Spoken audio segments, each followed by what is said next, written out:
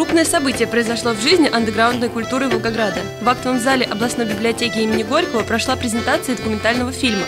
Картина посвящена молодому Волгоградскому фестивалю неформальной культуры «Встречи на Волге». Ранее документальные ленты создавались лишь на крупнейших мировых фестивалях, таких как немецкий рок н ринг или британский Вудсток. Теперь широкая аудитория сможет узнать и о волгоградской рок-сцене.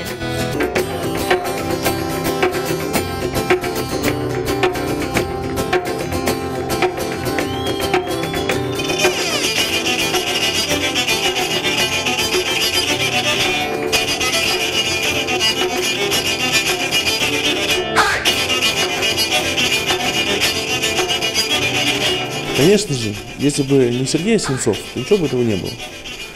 Он придумал фестиваль, позвонил мне, говорит, Костя, ты мог бы прийти просто поснимать? Я говорю, да, не просто поснимаем, а сделаем из этого музыкальный видовой фильмец, который будет рассказывать непосредственно о тех участниках, которые сегодня были представлены в нашем фильме. О музыкантах, о тех площадках, которые там были. Вообще на фестивале было три площадки. Киноплощадка, театральная площадка и музыкальная. Но мы решили охватить в основном музыкальную площадку, потому что она, на мой взгляд, казалась наиболее интересной. Два десятка коллективов на протяжении трех дней радовали зрителей фестиваля зажигательными ритмами и душевными лирическими композициями. И хотя погода не всегда благоприятствовала и организация мероприятия не была идеальной, фестиваль вышел очень теплым, дружеским и позитивным. Это отмечали как зрители, так и участники. Ключ на столе век времен обратно Твое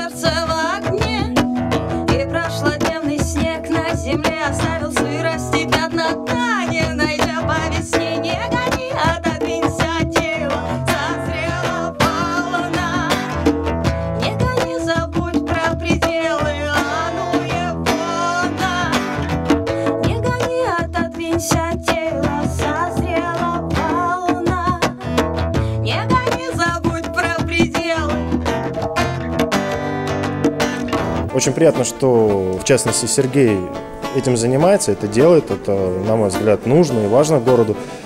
И то, что это делается на абсолютном энтузиазме, это тоже дорого стоит. Ну, все будет еще, все получится. Это не первое, главное не опускать руки, что-то делать.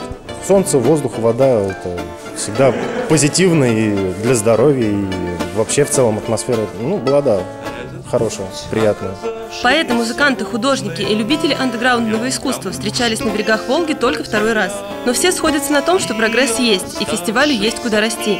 Неформальная сцена в Волгограде развита достаточно слабо, но при этом есть постоянное движение вперед творческое развитие и расширение географии дружеских связей. Несмотря на то, что э, как бы фестиваль в Волгограде, было очень много гостей. Приезжали гости из Екатеринбурга, из Москвы. И я думаю, это замечательное начало, и развитие будет прекрасным.